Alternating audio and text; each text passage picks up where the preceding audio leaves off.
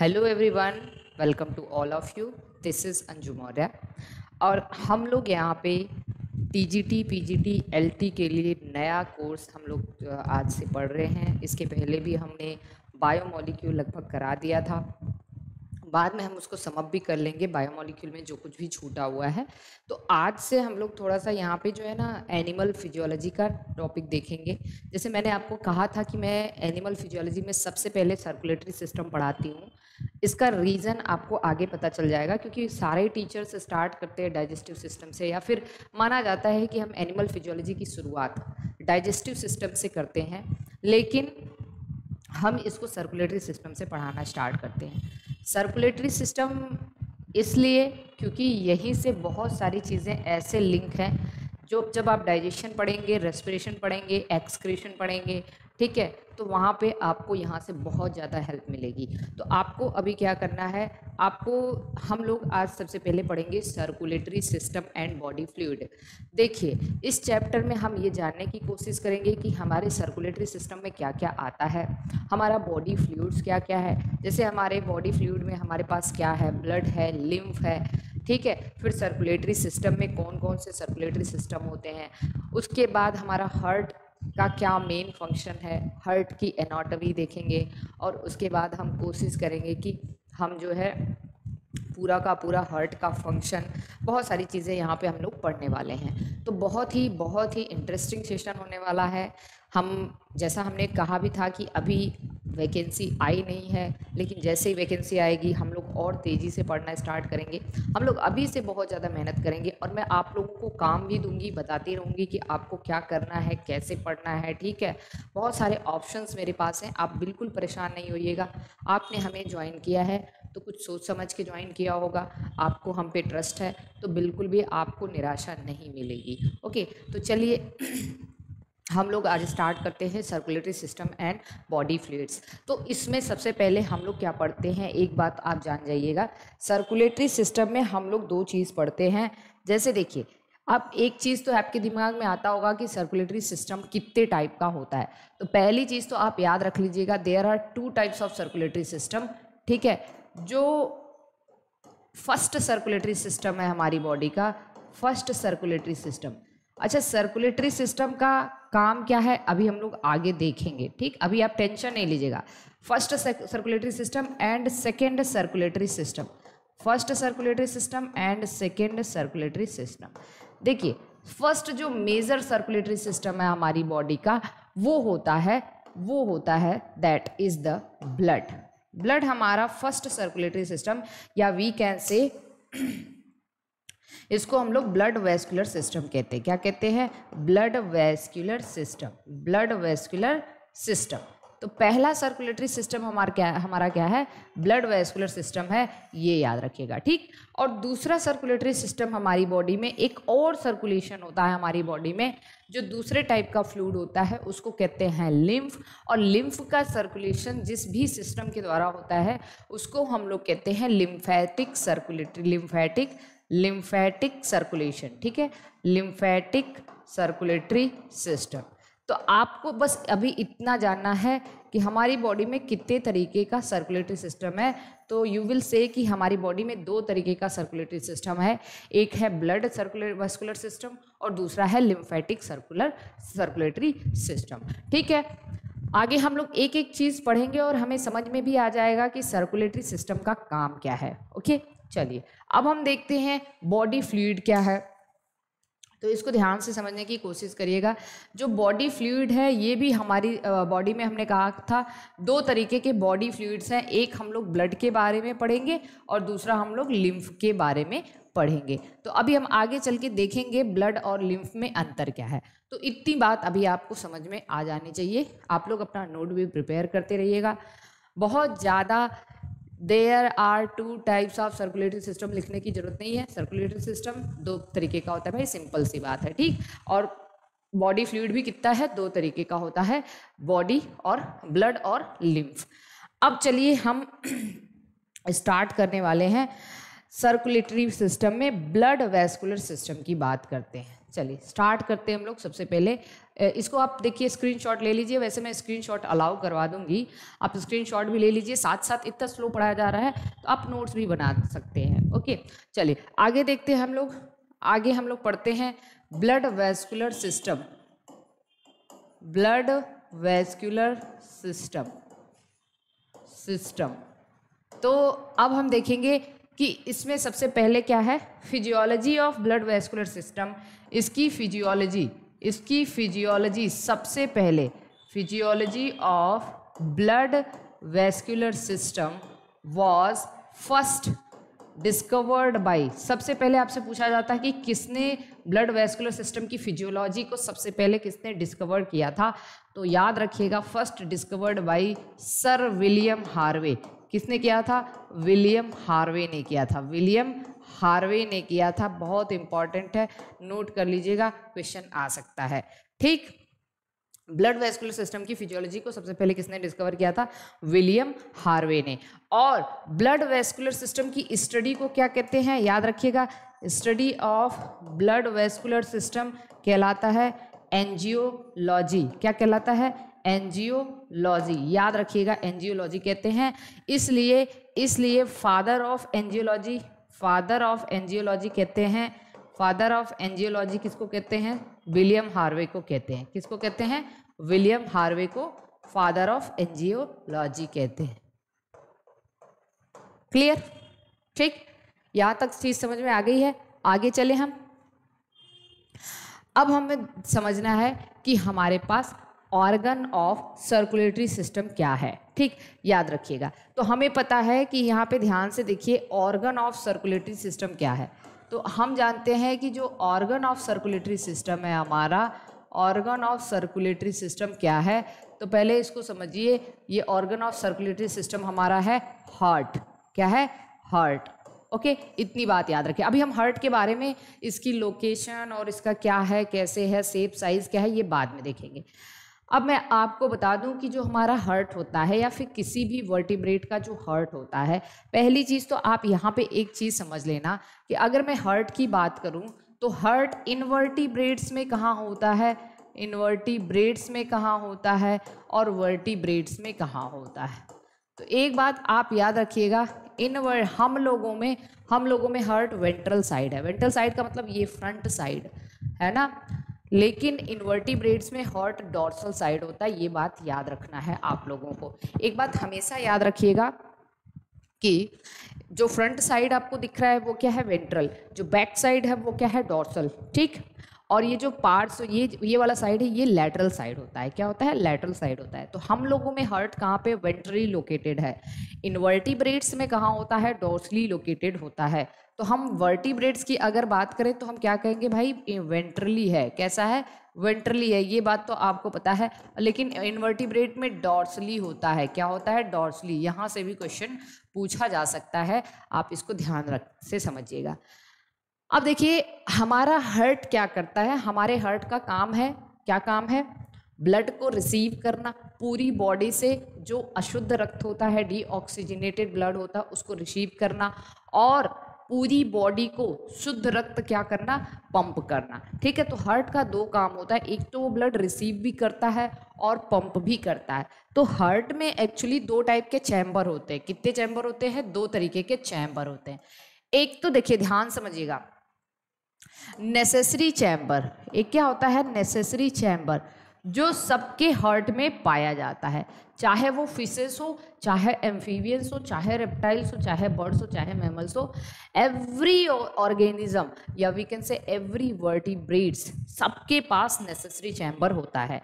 लेकिन कुछ चैम्बर्स ऐसे होते हैं जो केवल किसी किसी ऑर्गेनिज्म में पाए जाते हैं, उसको कहते हैं एक्सेसरी चैम्बर्स क्या कहते हैं? एक्सेसरी चैम्बर्स या नॉन नेसेसरी जो केवल कुछ ही वर्टिब्रेट्स में पाया जाता है उसके बारे में, में भी हम लोग अभी बात करेंगे।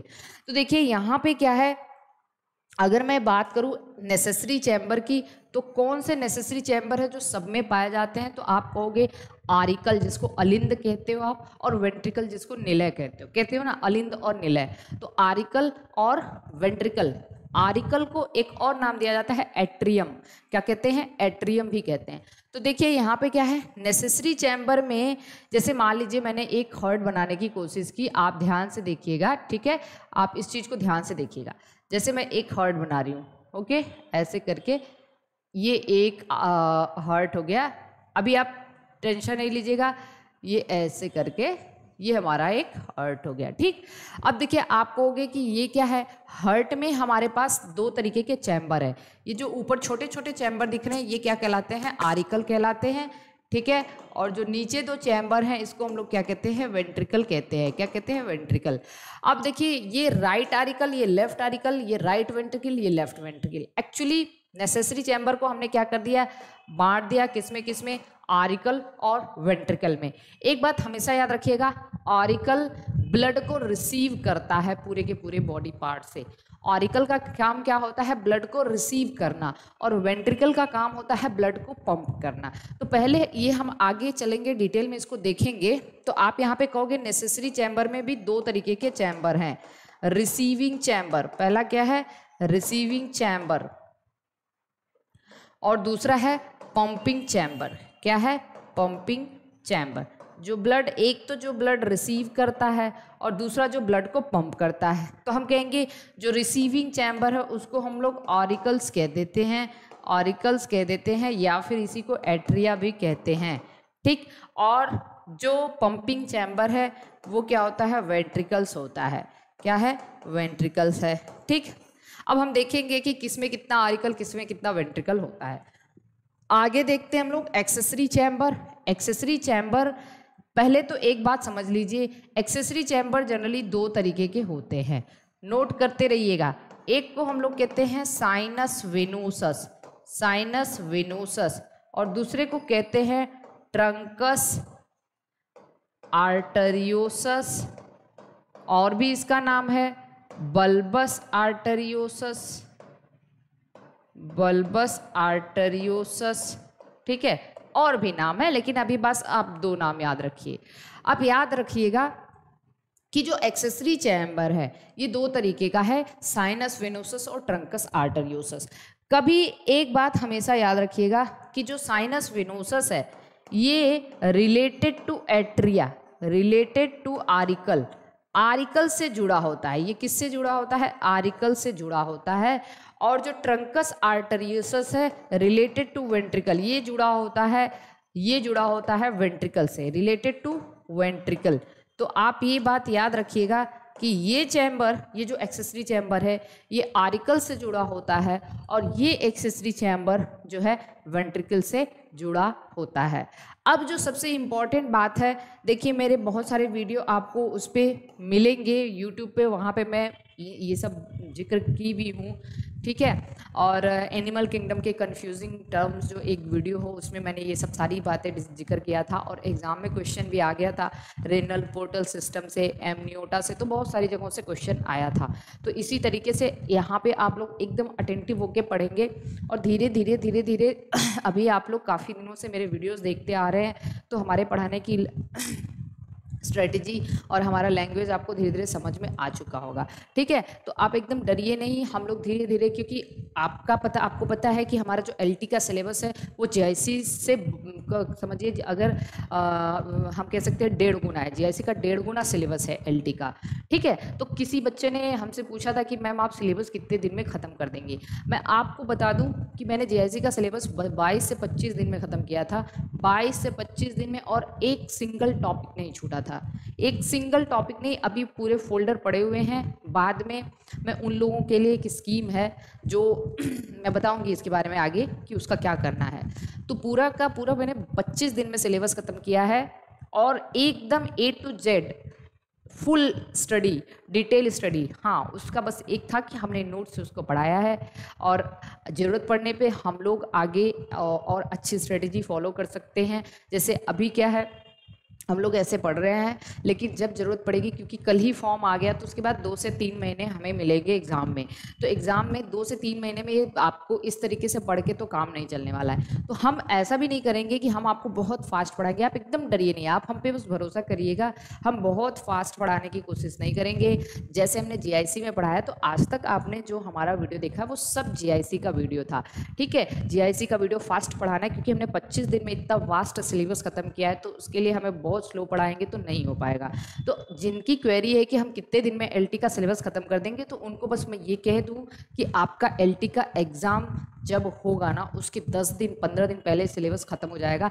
भले एग्ज़ाम आज के डेढ़ महीने बाद हो, आज के दो महीने बाद हो, आज के तीन महीने बाद हो डोंट मैटर, डजेंट मैटर, ठीक है? ये चीज़ मैटर नहीं करती कि आपका एग्ज़ाम कब है। That that's up to me कि मुझे क्या करना है, मैं कैसे सिलेबस ख़त्म करूँगी। आप हंड्रेड परसेंट सेटिस्फाइड होंगे, क्योंकि मेरे साथ जे के कम से कम 400 बच्चे जुड़े थे और कोई एक सिंगल ऐसा स्टूडेंट नहीं है जो अनसेटिस्फाइड है, बस एक महीने में जो जो मैंने पढ़ाया है। तो आप ऐसा बिल्कुल भी नहीं सोचिएगा कि मतलब हमको ऐसा पढ़ा दिया जाएगा या, और जो वीडियोस अभी है उस पर मैंने एलटी वाले बैच में जो वीडियो मैंने डाला है जीआईसी के ही कुछ वीडियो है तो बस मैंने रिवीजन पर्पज से डाला था क्योंकि बीच में मैंने क्लासेस बंद की थी तो इस वजह से मैंने उसको रिवीजन पर्पज से डाल दिया था कि आपकी जो पढ़ाई है वो रुकनी नहीं चाहिए। तो आगे ये क्या करना है, कैसे करना है, बस आपने हम पे भरोसा किया है। You don't need to study any book ठीक है? आपको कोई बुक पढ़ने की ज़रूरत नहीं है। आपको बस और बस क्वेश्चन सॉल्व करने की ज़रूरत है और बाद में मैं क्वेश्चन प्रैक्टिस भी कराऊँगी, ठीक है? तो आपको और कोई मतलब दुनिया भर की बुक पढ़ने की बिल्कुल ज़रूरत नहीं है। आप बस और बस नोट्स पढ़िए और अच्छा रिविज़न करिए और क्वेश्चन को सॉल्व करिए, आराम से सॉल्व हो जाएँगे सारे क्वेश्चन जितने क्वेश्चन आने हैं ओके तो आप एकदम परेशान मत होइएगा। ये सब मेरे ऊपर है कि मैं उसको कैसे कंप्लीट करवाती हूँ। तो चलिए देखिए, अब जो क्वेश्चंस पूछे जाते हैं कि जो एक्सेसरी चैम्बर्स हैं लाइक साइनस वेनोसस तो मैं ऐसे लिख दूँ sinus venosus and truncus arteriosus ठीक है? Sinus venosus and truncus arteriosus पहली पॉइंट इसके बारे में लिखिएगा, ठीक? इसके बारे में पहला point well developed in well developed in fishes and amphibians fishes और एम्फीबियंस में ये वेल डेवलप देखिए, अभी इस साल जी में रेनल पोर्टल सिस्टम पूछा था, हमने उसको भी पढ़ाया था, ठीक है? फिशेस एंड एम्फीबियंस मतलब फिशेस और एम्फीबियंस में दोनों होता है साइनस वेनोसस भी होता है ट्रंकस आर्टरियोसस भी होता है। फिर दूसरा point reduced in reduced in reptiles reptiles में ये काफ़ी रिड्यूस्ड हो जाता है। रिड्यूस्ड का मतलब अनडेवलप्ड होता है और रेप्टाइल्स में ऐसा माना जाता है कि ओनली साइनस वेनोसस पाया जाता है। ओनली साइनस वेनोसस पाया जाता है। ट्रंकस आर्टरियोसस नहीं होता है और वो भी रिड्यूस होता है। और तीसरा point absent in absent in birds and mammals birds and mammals में कोई भी एक्सेसरी चैम्बर नहीं होता।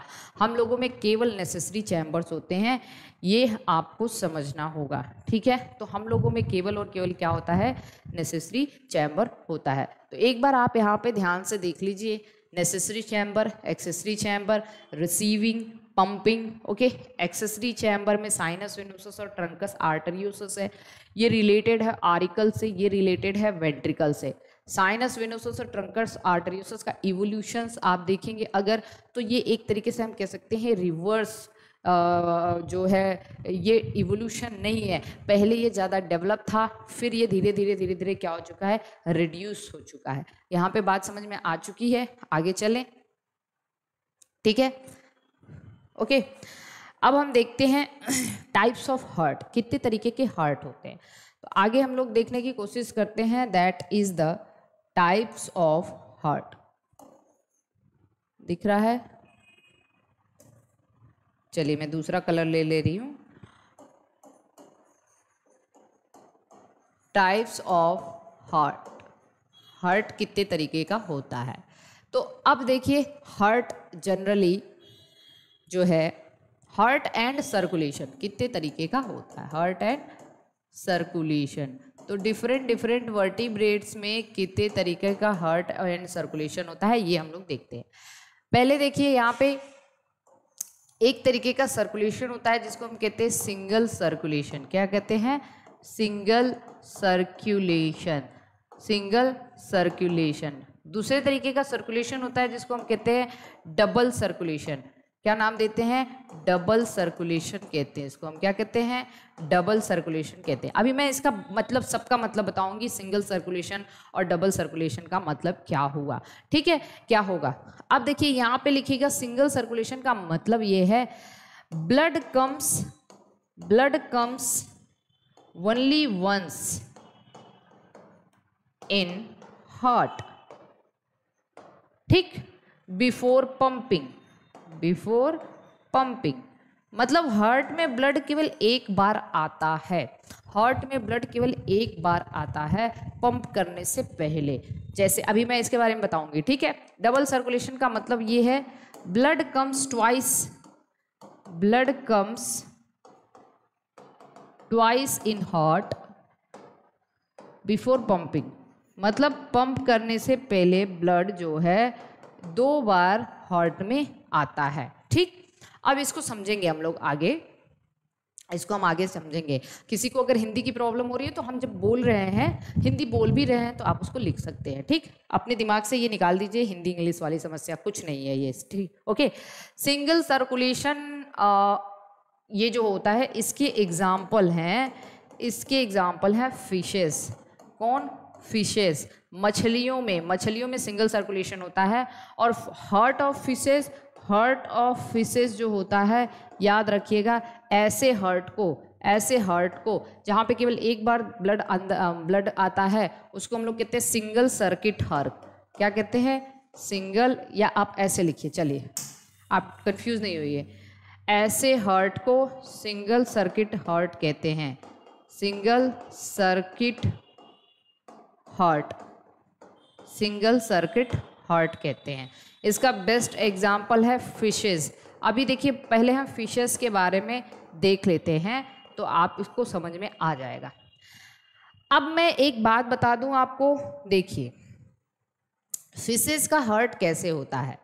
देखिए फिशेस का हार्ट होता है, एकदम ध्यान से देखिएगा।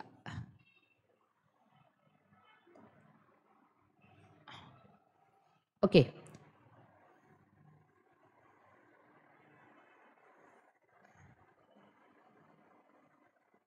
अभी ध्यान से एकदम एकदम ध्यान से समझिए। ये है फिशेस का हार्ट कैसा है? ये फिशेस का हार्ट है। आप कहोगे, ये क्या है? तो ध्यान से देखिएगा यहाँ पे, ये है बॉडी पार्ट एकदम अच्छे से समझिए। फिशेस की बॉडी पार्ट्स हैं। और ये है ये है देखिए, ये वाला जो चैम्बर दिख रहा है, इसको कहेंगे साइनस वेनोसस ठीक है? हमने कहा था फिसिस में साइनस वेनोसस भी होता है ट्रंकस आर्टरियोसस भी होता है, ठीक?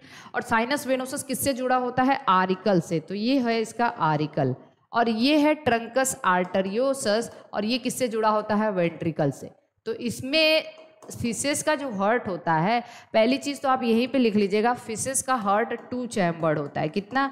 टू चैम्बर्ड टू चैम्बर्ड का मतलब एक आरिकल और एक वेंट्रिकल होता है। लेकिन दो एक्सेसरी चैम्बर भी होते हैं। दो एक्सेसरी चैम्बर भी होते हैं यहाँ पे। और कौन कौन से? साइनस, वेनोसस भी और ट्रंकस, आर्टरियोसस भी। इतनी बात समझ में आ गई सबको? इतनी बात समझ में आ चुकी है? ओके? तो फिशेस का हार्ट टू चैम्बर्ड हार्ट होता है, एक आरिकल और एक वेंट्रिकल और देखिए, मैंने कहा था आरिकल से साइनस वेनोसस जुड़ा होता है और वेंट्रिकल से ट्रंकस आर्टरियोसस जुड़ा होता है। तो मैं थोड़ा सा यहाँ पे इसको ऐसे मिटा रही हूँ। दो एक्सेसरी चैम्बर तो आपको पता ही है। दो एक्सेसरी चैम्बर क्या क्या है? आप यहाँ पे लिख लीजिए एक्सेसरी चैम्बर क्या क्या है? साइनस वेनोसस और ट्रंकस आर्टरियोसस भी है यहाँ पे। ओके अब देखिए, यहाँ पे क्या है? आप इस बात को समझने की जरा कोशिश करिएगा कि बॉडी पार्ट से कैसा ब्लड आता है? डी ऑक्सीजिनेटेड ब्लड आता है। कैसा ब्लड आता है? डी ऑक्सीजिनेटेड ब्लड जो deoxygenated blood deoxygenated blood को हमने शॉर्ट में डीओबी लिख दिया है। ठीक है डीओबी अच्छा डी ऑक्सीजिनेटेड ब्लड का मतलब क्या होता है? जहाँ पे कार्बन डाइऑक्साइड ज़्यादा हो और ऑक्सीजन कम हो। ठीक, इसको हम कहते हैं डीऑक्सीजनेटेड ब्लड और ऑक्सीजनेटेड ब्लड का मतलब शुद्ध रक्त, जिसमें ऑक्सीजन ज़्यादा होता है कार्बन डाइऑक्साइड कम होता है। अब बॉडी पार्ट से कैसा ब्लड आया भाई? डीऑक्सीजनेटेड ब्लड आया और ये आ गया हार्ट में। अब हार्ट में डीऑक्सीजनेटेड ब्लड सबसे पहले साइनस वेनोसस में और साइनस वेनोसस से कहाँ गया ये? यहाँ गया, यहाँ से यहाँ गया और यहाँ से वेंट्रिकल वेंट्रिकल इस, फिर वेंट्रिकल ही कैसा कैसा ब्लड पंप कर रहा है? डीऑक्सीजनेटेड ब्लड ही पंप कर रहा है और ये डीऑक्सीजनेटेड ब्लड जाता है गिल्स को, किसको जाता है भाई? गिल्स को। और गिल्स यहाँ, गिल्स में गैसेस एक्सचेंज होता है, क्योंकि गिल्स जो होते हैं, वो रेस्पिरेटरी ऑर्गन है तो वहाँ पे गैसेस एक्सचेंज होगा तो ये डीऑक्सीजनेटेड ब्लड लेके ये ऑक्सीजनेटेड ब्लड किसको देगा? बॉडी पार्ट को देगा। तो बॉडी पार्ट को क्या मिल रहा है? ऑक्सीजनेटेड ब्लड मिल रहा है। अब इस पूरे के पूरे डायग्राम को आप देखिए और बताइए कि यहाँ पे ब्लड जो है बिफोर पंपिंग हार्ट में कितनी बार आया? भाई, एक ही बार आया है। ये देखिए, एक ही बार आया है।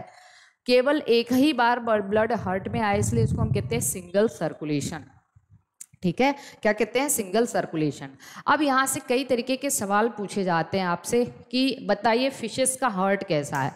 तो जो फिशेस का हर्ट का शेप पूछ देता है आपको तो फिशेस का जो हर्ट होता है, वो ट्यूबुलर हर्ट होता है। कैसा होता है? ट्यूबुलर हर्ट अब आप कहोगे कि कभी कभी आपको दे दिया ट्यूबुलर हर्ट किसका होता है? तो ट्यूबुलर देख रहे हो? एक ट्यूब जैसा इसका हर्ट है है ना? एक लाइन में सब कुछ लगा हुआ है। पहले साइनस वेनोसस फिर आरिकल फिर ट्रंकस आर्टरियोसस फिर वेंट्रिकल तो एक ट्यूब जैसा है तो इसको हम ट्यूबुलर हर्ट कहते हैं। चलिए दूसरी चीज़ क्या है? दूसरी चीज़, इसके हार्ट को हम वेनस हार्ट भी कहते हैं। और क्या कहते हैं? फिशेस के हार्ट को हम वेनस हार्ट भी कहते हैं। वेनस हार्ट इसको इसलिए कहते हैं, ध्यान से समझिए। वेन वेन से आया है वेनस अब आप कहोगे वेन का मतलब क्या है? तो एक बात समझना वेन्स क्या करती हैं? वेन्स हार्ट को हार्ट को ब्लड लेके जाती हैं। मतलब हार्ट को ब्लड को लेके जाता है? वेन और कैसा ब्लड डीऑक्सीजनेटेड ब्लड ठीक? डीऑक्सीजनेटेड ब्लड कैसा ब्लड माना जाता है? अशुद्ध माना जाता है। कैसा माना जाता है? अशुद्ध। क्योंकि यहाँ पे कार्बन डाइऑक्साइड ज़्यादा है ऑक्सीजन कम है। तो आप कहोगे वेन मतलब अशुद्ध रक्त। वेन में क्या होता है? अशुद्ध ब्लड होता है। और हर्ट से फिर शुद्ध रक्त या ऑक्सीजनेटेड ब्लड कौन लेके आता है? आर्टरी तो आप कहोगे हर्ट से कौन लेके आता है भाई? आर्टरी लेके आते हैं। तो हम वेन्स में अशुद्ध रक्त होता है। तो ऐसा माना जाता है कि फिशेस का हर्ट फिशेस का हार्ट पंप करता है ओनली डीऑक्सीजनेटेड ब्लड देखिए फिशेस का हार्ट में कहीं हार्ट से ऑक्सीजनेटेड ब्लड का कोई कनेक्शन ही नहीं है। हार्ट में डीऑक्सीजनेटेड ब्लड आया और हार्ट ने डीऑक्सीजनेटेड ब्लड ही पंप किया है। तो इसीलिए इस तरीके के हार्ट को क्या कहते हैं? वेनस हार्ट वेनस हार्ट का मतलब pumps pumps only deoxygenated blood.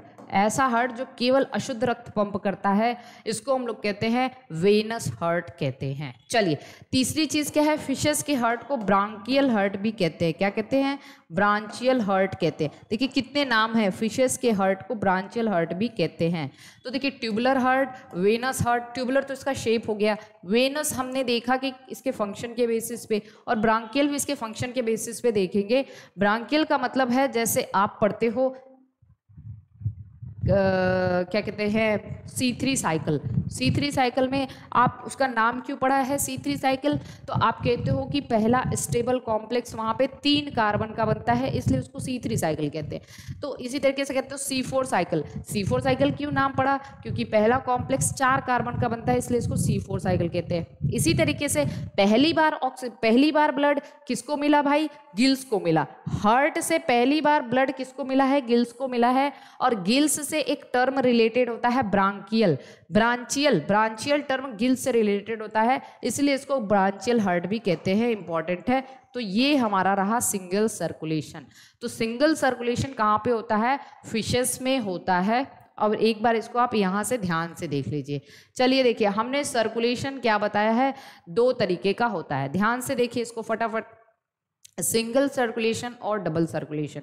Single circulation का मतलब है blood comes only once in heart before pumping.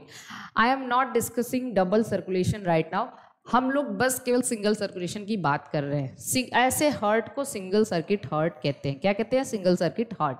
For example fishes अब फिशेस के हर्ट में दो चैम्बर हर्ट होता है, एक आरिकल और एक वेंट्रिकल और साथ ही साथ इसमें दो एक्सेसरी चैम्बर भी होते हैं साइनस विनोसस और ट्रंकस आर्टरियोसस अब इसके हर्ट का इस सिंगल सर्कुलेशन कैसे होता है? मैंने कहा कि देखिए, यहाँ पे क्या होता है? ये है बॉडी पार्ट बॉडी पार्ट से डीऑक्सीजनेटेड ब्लड आता है हार्ट के अंदर. और इसका ये हर्ट है हर्ट में sinus venosus auricle truncus arteriosus और वेंट्रिकल सब एक सीध में लगे होते हैं और इसका शेप एक ट्यूब जैसा होता है, इसलिए इसको ट्यूबुलर हर्ट भी कहते हैं.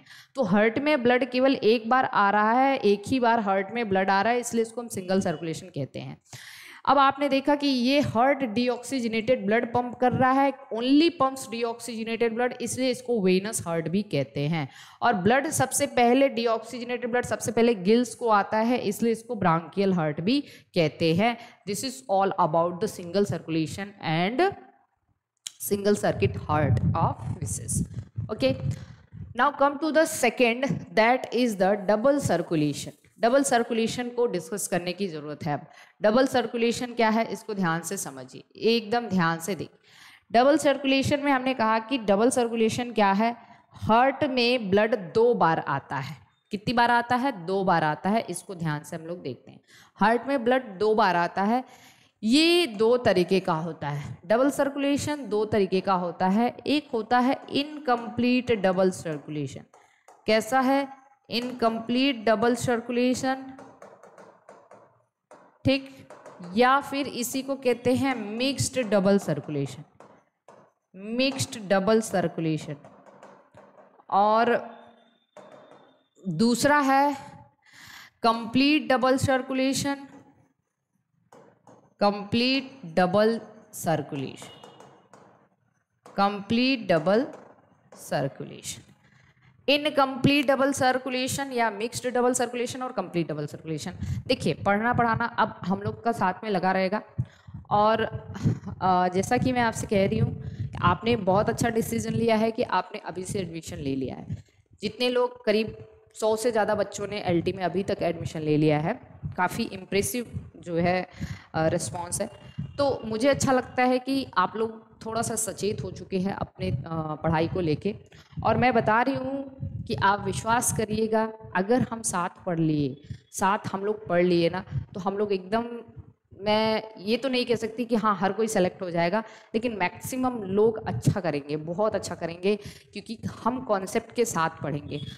और आज से ही आपका पूरा काम होना शुरू हो जाना चाहिए। सारे काम आपके सेकेंडरी होने चाहिए। लेकिन आज से ही आपको अपना टाइम टेबल प्रिपेयर कर लेना है कि हमको ये लगभग मान लीजिए डेढ़ घंटे का लेक्चर है अगर आपका, ठीक है? तो डेढ़ घंटे का लेक्चर देखने और लिखने में आपको दो से ढाई घंटे लग सकते हैं और उसको आप रिवाइज कर सकते हैं आधे घंटे में और आप अपना एक शॉर्ट नोट या अच्छा नोट बेहतर नोट प्रिपेयर कर सकते हैं। और उसके बाद आप क्वेश्चंस को भी सॉल्व कर सकते हैं। मतलब डेली आपको पाँच से छः घंटे पढ़ाई करना शुरू कर देना होगा और जैसे ही धीरे धीरे धीरे धीरे हम लोग थोड़ी सी स्पीड बढ़ाएँगे और आगे चल के और भी। और ऐसा मत डरिए कि मैम करिए स्पीड बढ़ाएँगे मतलब हम एकदम सुपर फास्ट पढ़ाना शुरू कर देंगे। नहीं, आपको सब समझ में आएगा। आप धीरे धीरे खुद ही जो है ना सब एकदम अडॉप्ट कर ले जाओगे।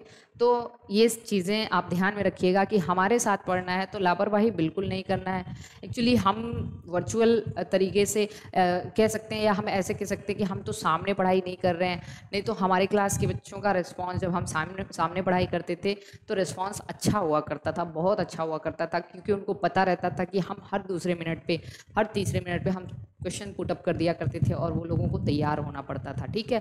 तो अभी क्या है कि अब जो भी है हमारे पास सुविधाएँ हैं उसका हम लोग उपयोग करेंगे। लेकिन आप इतना मान के चलिए कि अब आप इतने बड़े हो चुके हो कि आप अपना अच्छा बुरा भला सब कुछ आपको पता होगा कि हमें कि, किस तरीके से पढ़ाई करनी होगी कितना पढ़ना होगा कि हम सिलेक्शन के नज़दीक पहुँच जाएँ और अल्टीमेटली सिलेक्शन ले ही लें ठीक है? तो ये चीज़ आपको थोड़ा सा ध्यान देना होगा। तो प्लीज़ मेरी एक हम्बल रिक्वेस्ट है आपने फ़ी पेमेंट कर दिया है अब तो पढ़ाई हो भी रही है। और आप बस ये करिएगा कि मेरी बातों को थोड़ा सा मानने की कोशिश करिएगा, क्योंकि मैं बार बार कह रही हूँ ना कि 12 साल से पढ़ाते पढ़ाते इतना ज़्यादा एक्सपीरियंस हो चुका है कि मुझे पता है कि क्वेश्चंस कैसे आते हैं। और उसका रिज़ल्ट भी सब लोगों को दिख भी रहा है कि क्वेश्चंस अगर मैंने बता दिए कि ये टॉपिक आपको करा भी दिए तो वहाँ से क्वेश्चंस दो दो तीन तीन क्वेश्चंस आ जाते हैं। छोटे छोटे वीडियोज़ से दो दो तीन तीन क्वेश्चन आ जाते हैं। तो अभी भी मैं आश्रम पद्धति के लिए देखिए वीडियो बना रही हूँ। आप लोग खुद उस चीज़ को देख लीजिएगा। अभी मैं इकोलॉजी का ही सेक्शन थोड़ा बहुत करा रही हूँ, क्योंकि बहुत सारी चीज़ें हम ऑलरेडी कर चुके हैं। तो बहुत सारी चीज़ें, जैसे हमने एक वो चीज़ भी कंसिडर करना है। हमने एक पढ़ाया हुआ है, स्टीलर सिस्टम पढ़ाया हुआ है, क्लीवेज पढ़ाया हुआ है, ठीक है वस्कुलर वंडल पढ़ाया हुआ है, और भी बहुत सारी चीज़ें जीआईसी से पहले हमने कराया है, फिर आश्रम पद्धति में मैं और सारी चीज़ें जोड़ रही हूँ। देखिएगा वहाँ से क्वेश्चन आएगा, क्योंकि एक्सपीरियंस है अपने को कि किस सेक्शन से कैसे क्वेश्चन बन सकते हैं, और मैं जैसे जैसे जैसे मैं बता देती हूँ मोस्टली वहाँ से क्वेश्चन आ जाते हैं। तो अभी भी जैसे हम हर्ट पढ़ रहे हैं तो हर्ट का हम एक सेक्शन भी नहीं छोड़ेंगे कि मतलब क्वेश्चन आया और नहीं लग पाए तो हम लोग कोशिश करेंगे और रटेंगे भी नहीं। हम लोग रटेंगे भी नहीं। देख लीजिएगा, आप जैसे ही इस चैप्टर को समाप्त करोगे, आपको लगेगा अच्छा हर्ट ऐसे पढ़ा जाता है। हाँ तो बिल्कुल आप एकदम तैयार रहिए। आप लोग एकदम टेंशन नहीं लेना है कि हाँ कैसे पढ़ाई करनी है, ठीक? चलिए देखिए नेक्स्ट हम लोग देखेंगे, हमने कहा कि सर्कुलेशन इनकम्प्लीट डबल सर्कुलेशन को मिक्स्ड और कंप्लीट डबल सर्कुलेशन दो तरीके का होता है। एक्चुअली इनकम्प्लीट डबल सर्कुलेशन पाया जाता है, लिख लीजिएगा यहाँ पे, कहाँ पाया जाता है? इन एम्फीबियंस एंड रेप्टाइल्स में। एम्फीबियंस एंड रेप्टाइल्स में होता है। और ये कंप्लीट डबल सर्कुलेशन पाया जाता है बर्ड्स और मैमल्स बर्ड्स और मैमल्स इतनी बात आप पहले समझिए। इनकम्प्लीट डबल सर्कुलेशन या मिक्स्ड अब एक्चुअली होता क्या है? पहले आप समझने की कोशिश करिएगा थोड़ा सा। अब अगर मैं एम्फीबियन की बात करूँ और रेप्टाइल्स की बात करूँ तो ऐसा माना जाता है कि इनका हार्ट थ्री चैम्बर्ड होता है। एक्चुअली आप यहाँ पे ध्यान दीजिए एम्फीबियन का हार्ट थ्री चैम्बर्ड होता है। कितना होता है? थ्री चैम्बर्ड होता है। मतलब टू आरिकल और एक वेंट्रिकल ठीक? दो आरिकल और एक वेंट्रिकल। और रेप्टाइल्स का हार्ट मान के चलिएगा थ्री एंड हाफ़ चैम्बर्ड माना जाता है, लिख लीजिएगा। क्योंकि आपको देखिए, अगर एडवांस तरीके से पूछा तब तो यही आएगा थ्री एंड हाफ़ और अगर एक बहुत जनरलाइज तरीके से पूछेगा तो थ्री चैम्बर्ड ही मान के चलते हैं, ठीक है? इतनी बात याद रखिएगा। एडवांस तरीके से हम अभी आपको बता रहे हैं। रेप्टाइल्स का three and half chambered heart होता है। जैसे, अब आप कहोगे three and half chambered heart का मतलब क्या हुआ? टू आरिकल हो गया और वन एंड हाफ़ जो है ना वन एंड हाफ़ वेंट्रिकल होता है। वेंट्रिकल दो नहीं होता है, दो वेंट्रिकल नहीं होता है इनकम्प्लीट होता है दूसरा वाला। ओके अब कैसे हम इसको देखेंगे? अब इसको ध्यान से समझिएगा। जैसे फिशेस का अगर एम्फीबियन की अगर हम बात करें तो एक मैं एम्फीबियन का हर्ट बना रही हूँ। आप टेंशन नहीं लेना कि हर्ट ऐसा होता है क्या? नहीं, बस आप समझने की कोशिश करना। ये है एक एम्फीबियन का हार्ट एम्फीबियन के हार्ट में क्या है? ये राइट आरिकल है और ये लेफ़्ट आरिकल है. दो आरिकल हो गया, लेकिन वेंट्रिकल एक ही होता है. वेंट्रिकल एक ही होता है. अब आप कहोगे कि इसमें तो फिर क्या हुआ? तो यहाँ पे क्या होता है? यहाँ से राइट आरिकल में डी ऑक्सीजिनेटेड ब्लड आता है और लेफ़्ट आरिकल में ऑक्सीजिनेटेड ब्लड आता है। हम लोगों में भी ऐसे ही होता है। हमारे राइट आरिकल में पूरी बॉडी पार्ट से डी ऑक्सीजिनेटेड ब्लड आता है और लेफ़्ट आरिकल में लंग से ब्लड आता है ऑक्सीजिनेटेड आगे हम देखेंगे। लेकिन ये अशुद्ध रक्त है और ये शुद्ध रक्त है। दोनों की मिक्सिंग एक इसमें होती है। किसमें होती है? तो उसको थोड़ा सा मैं बढ़ा भी दे रही हूँ, देखिए। दोनों की मिक्सिंग यहाँ पे होती है। किसमें? डीऑक्सीजनेटेड और ऑक्सीजनेटेड ब्लड की मिक्सिंग वेंट्रिकल में होती है। अब आपको यहाँ पे, देखिए, यहाँ पे क्या होता है? ऑक्सीजनेटेड और डीऑक्सीजनेटेड ब्लड की मिक्सिंग कहाँ होती है? वेंट्रिकल में होती है। अब वेंट्रिकल से ब्लड जाता है कहाँ पे? बॉडी पार्ट्स को जाता है। यहाँ से ब्लड किसको जाता है? बॉडी पार्ट्स को जाता है। किसके सहारे? ओर्टा के सहारे।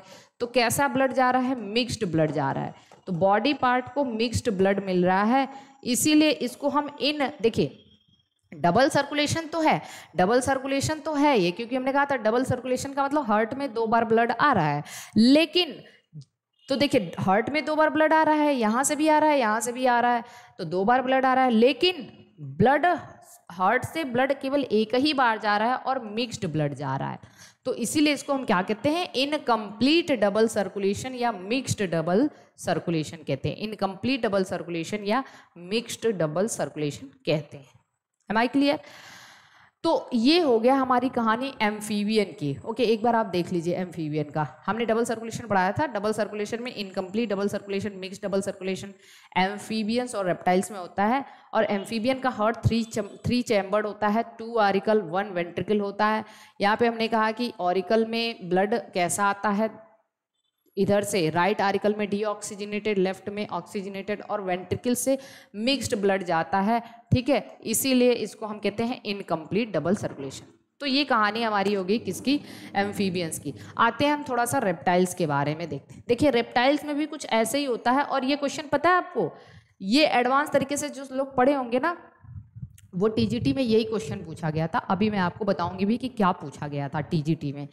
तो देखिए रेप्टाइल्स में दो आरिकल है, ठीक है? यहाँ पे मैंने लिखा दो auricle right auricle left auricle आपको पता है राइट आरिकल में डिऑक्सीजिनेटेड ब्लड और लेफ़्ट आरिकल में कैसा ब्लड आता है? ऑक्सीजिनेटेड वेंट्रिकल में अब ये चैम्बर बनना शुरू होता है।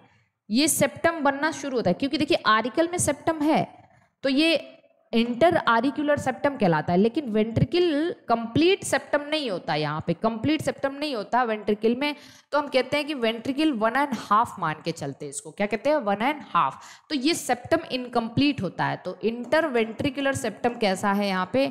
इंटर वेंट्रिकुलर सेप्टम इनकम्प्लीट कैसा है? इनकम्प्लीट है। मतलब पूरा नहीं बना है। अब एक बात समझिए, फिर वही कहानी है, यहाँ पे डिऑक्सीजनेटेड ब्लड और यहाँ पे ऑक्सीजनेटेड ब्लड आएगा, दोनों की मिक्सिंग होगी और यहाँ से जब ओर्टा के सहारे ब्लड जाएगा तो कैसा ब्लड जाएगा? सॉरी कैसा ब्लड जाएगा? मिक्स्ड ब्लड जाएगा। बॉडी पार्ट्स को मिक्स्ड ब्लड जाएगा। तो ये भी इनकम्प्लीट ही है। बस फ़र्क यहाँ पे यहाँ पे एक सेप्टम बनना शुरू हो गया। अब टीजीटी में टीजीटी में ध्यान दीजिएगा। टीजीटी या पीजीटी मुझे याद नहीं आ रहा, लेकिन इसी साल। टीजीटी में ही ये क्वेश्चन पूछा गया था लीजर्ट का। ठीक है? लीजर्ट का। लीजर्ट का। लीजर्ट में ये क्वेश्चन आया था कि बताइए लीजर्ट क्या है भाई? रेप्टाइल है? तो दिया था इंटरवेंट्रिकुलर सेप्टम इनकम्प्लीट इन तो उसमें आपको दिया था बर्ड्स दिया था मैमल्स दिया था, और भी एक ऑप्शन दिया था मैमल का ही, और एक दिया था लीजर्ड तो आपको याद रखना है रेप्टाइल्स में ये इंटरवेंट्रिकुलर सेप्टम क्या होता है? इनकम्प्लीट होता है. एम आई क्लियर ठीक है? ये क्वेश्चन दिया गया था. अब आते हैं हम लोग तो यहाँ तक हमें बात तो समझ में आ चुकी है. बताइए, आ चुकी है ना ये बात समझ में? देखिए, एक बार देख लीजिए आप लोग इसको। अभी हम लोग incomplete double circulation mixed circulation amphibian और रेप्टाइल में है। क्यों इसको मिक्स्ड कहेंगे, क्यों डबल कहेंगे, ये मैंने आपको बता दिया। एक बार इस डायग्राम को देख लीजिए, दोनों के डायग्राम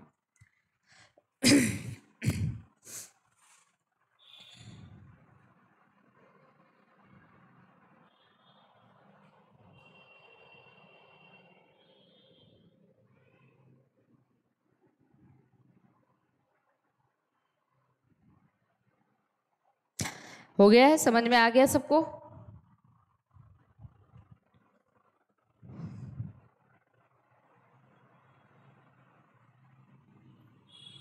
अब आते हैं हम लोग, देखिए ध्यान से देखिए। अब आते हैं हम लोग कंप्लीट डबल सर्कुलेशन पे। बर्ड्स और मैमल में होता है कंप्लीट डबल सर्कुलेशन आगे चलें, यहाँ तक तो हो गया चीज़ें। बर्ड और मैमल में होता है कंप्लीट डबल सर्कुलेशन तो इसको हम यहाँ से देखते हैं और देखने की कोशिश करते हैं कि इसमें क्या है। तो अब चलिए देखिए, हम इसको ऐसे लिख दे रहे हैं, बर्ड्स और मैमल्स में, यहाँ पे लिखने की कोशिश करते हैं। तो अब हम आते हैं कंप्लीट डबल सर्कुलेशन में किसमें कंप्लीट डबल सर्कुलेशन हमने कहा था कंप्लीट डबल सर्कुलेशन कहाँ होता है? बर्ड्स में और मैमल्स बर्ड्स और मैमल्स में होता है। बर्ड्स और मैमल्स में होता है। ओके अब याद रखिएगा कि इनमें फोर चैम्बर्ड हर्ट होता है। इन दोनों में कैसा चैम्बर्ड हर्ट होता है? फोर चैम्बर्ड हर्ट होता है। इन दोनों में कैसा हर्ट होता है? फोर चैम्बर्ड हर्ट होता है। और फोर चैम्बर्ड हर्ट मतलब two auricle or to ventricle. And there is no mixing of, no mixing of deoxygenated blood and oxygenated blood यहाँ पे ऑक्सीजिनेटेड और डीऑक्सीजिनेटेड ब्लड की मिक्सिंग नहीं होती। कैसे होता है? इसको थोड़ा सा देखते हैं। देखिए, मेरा डायग्राम सेक्शन तो बहुत अच्छा नहीं है, लेकिन हमें अभी डायग्राम बना के मास्टर नहीं बनना है। हमें बस ज़रूरत की चीज़ें पढ़नी है, ठीक है? तो देखिए, मैं यहाँ पे बना रही हूँ एक हर्ट ठीक? समझिए, मैं बर्ड और मैमल का हर्ट बनाने की कोशिश कर रही हूँ, और आप देखना, ये मान लीजिए मैंने बना दिया एक, एकदम ध्यान से समझना है आपको। ठीक है?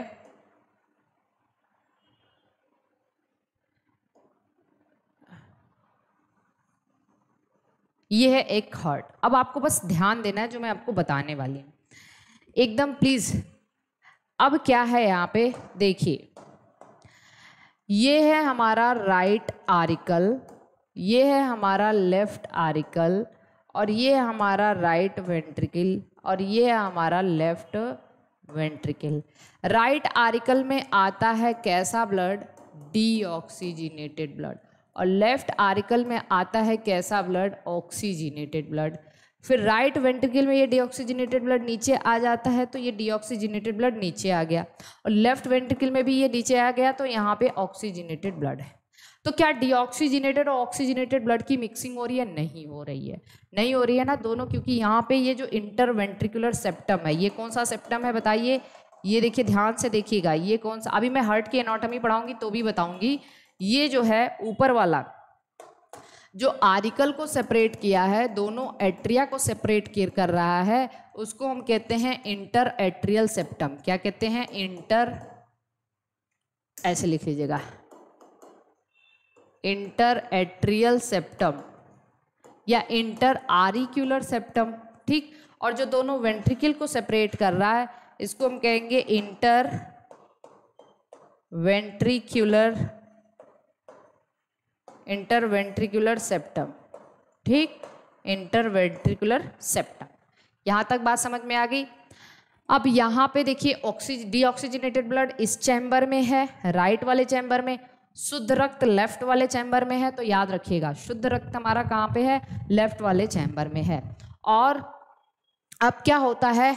ये बताइए, यहाँ से राइट वाले चैम्बर से अशुद्ध रक्त जाता है। ध्यान दीजिएगा जो मैं बताने वाली हूँ अब। राइट वाले चैम्बर से अशुद्ध रक्त किसको जाता है? तो आप कहोगे पल्मोनरी ओर्टा से, यहाँ से एक पल्मोनरी ओर्टा निकलती है जो कि लंग्स को जाता है। किसको जाता है? लंग्स को जाता है। तो फेफड़ों को कैसा ब्लड जाता है? अशुद्ध ब्लड जाता है, ये बात याद रखिएगा। और इस वाले चैम्बर से, इस वाले चैम्बर से, देखिए ध्यान से समझिएगा, ध्यान से, प्लीज़। फुल्ली अटेंटिव रहना है आपको।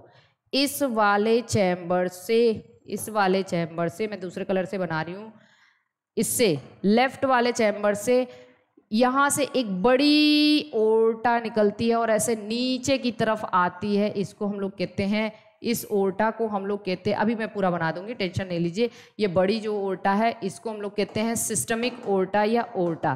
क्या कहते हैं? Systemic aorta. जो पूरे बॉडी पार्ट को ब्लड लेके जाती है। यहाँ पे मैंने लिखा था, नो मिक्सिंग ऑफ़ ब्लड। ठीक? ये लाइट। अब देखिए, यहाँ से आप ध्यान से समझिएगा। आप इस बात को समझने की कोशिश करिए। अभी कोई कंफ्यूजन नहीं होना चाहिए। हमने कहा कि यहाँ से ब्लड कहाँ से आया है? पूरे बॉडी पार्ट्स को आया है। ठीक, पूरे बॉडी पार्ट से डिऑक्सीजनेटेड ब्लड आया है राइट आर्टिकल में। लेकिन ये किसको लेके जाता है? ये आगे चल के ढेर सारी आर्टरी में डिवाइड हो जाता है। ढेर ये बड़ी आर्टरी है, ठीक है? ये बड़ी आर्टरी है, फिर ये ढेर सारी छोटी छोटी आर्टरी में डिवाइड हो जाता है और ये छोटी छोटी आर्टरी में डिवाइड होने के बाद पूरी की पूरी बॉडी पार्ट्स को ब्लड देती है ये ओल्टा ओके पूरी की पूरी बॉडी पार्ट्स को यहाँ से ब्लड मिलता है, ठीक? अब आप समझिए कि बॉडी पार्ट से ब्लड कहाँ पे आया? राइट right आर्टिकल में। और बॉडी पार्ट को ब्लड कहाँ से गया? लेफ़्ट वेंट्रिकल से। तो इसे क्रॉस से याद रख लेना, ठीक? और देखिए लेफ़्ट वाले में, इस वाले चैम्बर में लेफ़्ट आर्टिकल में, ठीक है? कहाँ से ब्लड आ रहा है? लंग्स से आ रहा है। लंग से ऑक्सीजनेटेड ब्लड आ रहा है, लेकिन लंग्स को जा कहाँ से रहा है? राइट वेंट्रिकल से। तो क्रॉस याद रखना है आपको, दो जगह से ब्लड आ रहा है और दोनों जगह से फिर जो है दोनों जगह को ब्लड अलग अलग ब्लड जा रहा है मिक्सिंग नहीं हो रही है। ठीक है? तो आगे हम लोग इसको देखेंगे तो आप कह सकते हो कि देखिए बॉडी पार्ट से रिलेटेड कौन कौन है? बॉडी पार्ट से रिलेटेड कौन कौन है? तो आप यहाँ पे लिख लो। बॉडी पार्ट मतलब पूरी बॉडी पार्ट बॉडी पार्ट से ब्लड कहाँ से आया? कहाँ किसमें आया? राइट आरिकल में. और बॉडी पार्ट को ब्लड कहाँ से गया? लेफ़्ट वेंट्रिकल क्रॉस से याद रख लेना, ठीक? और अगर मैं लंग्स की बात करूँ तो आप कहोगे लंग्स से ब्लड कहाँ पे आया? तो आप कहोगे लेफ़्ट आरिकल में. और लंग्स को ब्लड कहाँ से गया? तो इसका राइट वेंट्रिकल क्रॉस ऐसे याद रख लो. तो देखिए, कहीं पे भी क्या मिक्सिंग ऑफ़ ब्लड हो रहा है? कहीं पे ऑक्सीजनेटेड डिऑक्सीजनेटेड ब्लड मिल रहा है, नहीं मिल रहा है तो इस तरीके का जो ब्लड है, इस तरीके का जो सर्कुलेशन है, वो कैसा सर्कुलेशन कहलाता है? डबल सर्कुलेशन कहलाता है कंप्लीट डबल सर्कुलेशन कहलाता है और ये बर्ड और मैमल में पाया जाता है। किसमें पाया जाता है? बर्ड और मैमल में। अब मैं आपको एक थोड़ा सा डिटेल बात लेके जाऊँ। आप कहोगे, फिर बर्ड और मैमल के हार्ट में कहीं कुछ अंतर है क्या? दोनों का हार्ट लगभग सेम है। चार चैम्बर्ड है दो आरिकल दो वेंट्रिकल है कोई भी एक्सेसरी चैम्बर नहीं है। कोई एक्सेसरी चैम्बर का मतलब साइनस वेनोसस और ट्रंकस आर्टरियोसस यहाँ नहीं होता एबसेंट होता है। मैंने स्टार्टिंग में ही आपको बताया है। तो आप कहोगे कि क्या, क्या कोई डिफरेंस है क्या बर्ड और मैमल के हर्ट में? तो एक छोटा सा डिफरेंस है उसको आप ज़रूर नोट कर लीजिएगा। बस कॉपी में लिख लीजिए कि देखिए मैमल के हर्ट में मैमल के हर्ट में जब ये ओरटा यहाँ से निकलती है ना, यहाँ से निकलती है ये ओरटा लेफ़्ट वेंट्रिकल से, ये सबसे बड़ी आर्टरी को ओरटा कहते हैं। और ये सिस्टमिक ओरटा ही सबसे बड़ी आर्टरी होती है। तो ये लेफ़्ट टर्न लेती है, ऐसे लेफ़्ट साइड घूम जाती है।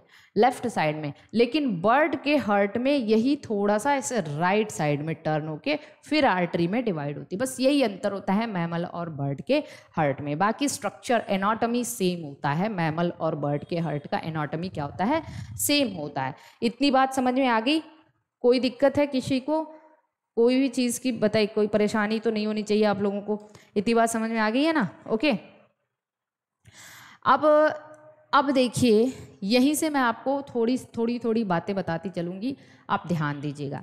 कभी कभी आपसे पूछता है कभी कभी आपसे पूछता है कि बताइए, अब आरिकल और वेंट्रिकल देखिए। और पूछता है, बताइए, किसकी वाल, किसकी भित्ति, किसकी दीवार सबसे ज़्यादा थिक होनी चाहिए? थिक किसकी वॉल सबसे ज़्यादा थिक होती है और किसकी वॉल सबसे ज़्यादा थिन होती है? तो आपको मैं एक बात बता दूँ कि अब इसको देख लीजिए डायग्राम बना लीजिए स्क्रीनशॉट ले लीजिए आप लोग। हम अलाउ कर देंगे स्क्रीनशॉट अभी फ़िलहाल के लिए अगर आज ना अलाउ आज ना हो पाए तो आप लोग अभी बनाते चलिए। वीडियो को पॉज करिए और ये चीज़ बना लीजिए, ठीक? आइए, आगे चलते हैं हम लोग। देखिए, अब जो बात समझ में आनी चाहिए आपको वो ये है कि थिकनेस ऑफ़ वॉल कभी कभी पूछता है। थिकनेस ऑफ़ वॉल तो इसको आपको पता होना चाहिए कि सबसे थिनर वॉल किसकी होती है और सबसे थिकेस्ट वॉल किसकी होती है। तो आप कहोगे कि क्योंकि देखिए, क्योंकि हम कहेंगे कि ये जो आरिकल है भैया, आरिकल को ज़्यादा लोड नहीं होता है। क्योंकि आरिकल में ब्लड आता है और यहाँ से ब्लड केवल नीचे पंप होना है। कहाँ पे? नीचे पंप होना है वेंट्रिकल में। तो इस पर ज़्यादा प्रेशर नहीं होता है। नीचे आना है टूवर्ड्स द ग्रेविटी आना है ग्रेविटी के दिशा में आना है तो कहाँ प्रेशर होगा, है ना? तो हम छत से कूदेंगे तो क्या हमारे उसमें कोई मेहनत लगनी है? नहीं, लेकिन छत पे चढ़ने पे तो मेहनत लगेगी ना। तो देखिए, हम कहेंगे कि भाई आरिकल की जो वॉल है सबसे पतली होती है क्योंकि इस पर ज़्यादा प्रेशर नहीं होता। फिर कहेंगे कि अच्छा वेंट्रिकल की वॉल थिक है तो कौन से वेंट्रिकल की वॉल ज़्यादा थिक होती है? तो आप कहोगे कि जो लेफ़्ट वेंट्रिकल है, क्योंकि लेफ़्ट वेंट्रिकल समझिए लेफ़्ट वेंट्रिकल पे भार ज़्यादा है। भार ज़्यादा मतलब इसको पूरे बॉडी पार्ट्स को ब्लड पंप करना रहता है। पूरे बॉडी पार्ट्स को ब्लड पंप करना रहता है। तो इसकी वॉल सबसे थिकेस्ट होती है और इसकी वॉल इससे कम थिक होती है। तो अब देखिए मतलब लेफ़्ट वेंट्रिकल की वॉल सबसे ज़्यादा थिकेस्ट होती है। तो आप कहोगे यहाँ पे कि अगर हम वॉल थिकनेस की बात करें वॉल थिकनेस की बात करें तो आप कहोगे कि सबसे थिनर वॉल या सबसे थिनेस्ट आप कहोगे थिनेस्ट सबसे थिनेस्ट वॉल जो होती है, वो होती है किसकी? आरिकल की। किसकी? आरिकल की। दोनों आरिकल की अगर हम बात करें। ओके और उसके बाद थिकर वॉल किसकी होती है? आप कहोगे थिकर वॉल जो होती है, वो राइट वेंट्रिकल की होती है और सबसे थिकेस्ट किसकी होती है? सबसे थिकेस्ट होती है लेफ़्ट वेंट्रिकल की, क्योंकि इस पर भार सबसे ज़्यादा है, क्योंकि इसको पूरे बॉडी पार्ट्स को ब्लड पंप करना होता है। एम आई क्लियर ये हो गया है ना? तो यहाँ तक अब हमें बात समझ में आ चुकी है। ओके अब चलिए देखिए, आपसे अगला क्वेश्चन कैसे पूछा जाता है? अब अगला क्वेश्चन दो तरीके से पूछा जाता है। एक होता है, अब हमने हर्ट देखा। हर्ट को हम दूसरे तरीके से कह सकते हैं कि यहाँ पे हमें दिख रहा है दो तरीके के चैम्बर एक तो हमें दिख रहे हैं राइट चैम्बर्स क्या दिख रहे हैं? राइट चैम्बर्स कैसे चैम्बर्स राइट चैम्बर्स तो आप कहोगे कि राइट चैम्बर क्या है? तो आप कहोगे राइट साइड वाले चैम्बर में राइट आरिकल है और राइट वेंट्रिकल है है ना? राइट आरिकल और राइट वेंट्रिकल है। ठीक है? राइट आरिकल है और राइट वेंट्रिकल है। और फिर आप कहोगे लेफ़्ट चैम्बर दूसरा क्या है? लेफ़्ट चैम्बर्स और लेफ़्ट चैम्बर्स में क्या है? लेफ़्ट आरिकल है और लेफ़्ट वेंट्रिकल है। अब एक बात आपको समझना है कि राइट चैम्बर में ओनली डीऑक्सीजिनेटेड ब्लड है राइट साइड में डीऑक्सीजिनेटेड ब्लड है। और लेफ़्ट साइड में कैसा ब्लड है? Oxygenated blood. कैसा ब्लड है? ऑक्सीजिनेटेड ब्लड है। ठीक है? एक बात समझिएगा आप। जैसे अभी हमने देखा था, देखिए राइट साइड में कैसा ब्लड है बताइए। केवल डीऑक्सीजिनेटेड ब्लड है ना? देखिए राइट साइड में केवल डीऑक्सीजिनेटेड ब्लड है और लेफ़्ट साइड में केवल ऑक्सीजिनेटेड ब्लड है। तो अब हमें एक बात समझ में आ रही है कि राइट साइड वाला जो चैम्बर है पंप्स किसको ब्लड पंप करता है? पंप्स ब्लड टू लिख लीजिए पंप्स ब्लड टू लंग्स किसको ब्लड पंप करता है ये? यहाँ से ब्लड किसको जाता है? लंग्स को जाता है। राइट वेंट्रिकल से ब्लड किसको जाता है? लंग्स को। इसीलिए इसको हम इसको हम पल्मोनरी चैम्बर कहते हैं। क्या कहते हैं? पल्मोनरी चैम्बर अब आप कंफ्यूज नहीं होना। क्या कहते हैं? पल्मोनरी चैम्बर कहते हैं। ठीक? दूसरी पल्मोनरी मतलब पल्मोन का मतलब होता है लंग्स पल्मोन मतलब लंग्स देखिए लेफ़्ट चैम्बर्स में कौन कौन है? ऑक्सीजनेटेड ब्लड तो ऑक्सीजनेटेड ब्लड किसको पंप होता है? पंप्स ठीक है? Blood to whole body parts whole body parts अब एक बात मैं आपको बता दूँ बॉडी पार्ट से एक टर्म रिलेटेड होता है, जिसका नाम दिया जाता है सिस्टमिक जैसे जैसे लंग्स से रिलेटेड टर्म को क्या कहते हैं? पलमोन कहते हैं, ठीक है? और लीवर से रिलेटेड टर्म को हिपैर कहते हैं, लीवर से रिलेटेड टर्म को हिपैटिक कहते हैं, क्योंकि लीवर का दूसरा नाम हिपैटिक है, हिपैर है। हेड से रिलेटेड टर्म को सिफेलिक कहते हैं, ठीक? और इसी तरीके से आपका डायफ्रॉम से जो एक टर्म रिलेटेड होता है, उसको फ्रेनिक कहते हैं, फ्रेनिक। ठीक है? तो बहुत सारी ऐसी चीज़ है तो टर्म तो सिस्टमिक मतलब आ गया जहाँ पे भी सिस्टमिक आर्टरी है सिस्टमिक वेन है सिस्टमिक सर्कुलेशन है, वो बॉडी पार्ट से रिलेटेड होता है। तो बॉडी पार्ट से रिलेटेड टर्म को क्या कहते हैं? सिस्टमिक और आपको पता है ये ब्लड पंप किसको कर रहा है? होल बॉडी पार्ट्स को, इसलिए इसको हम कहते हैं सिस्टमिक सर्कुलेशन तो हमारे पास दो सॉरी सिस्टमिक चैम्बर हमारे पास दो तरीके के चैम्बर्स हो गए। आपसे अब क्वेश्चन में देखिए, एक बार यही क्वेश्चन पूछा गया था कि बताइए सिस्टमिक चैम्बर में ऐसे क्वेश्चन दिया हुआ था। देखिए, मैं क्वेश्चन बता भी दे रही हूँ। कहाँ क्वेश्चन था ये?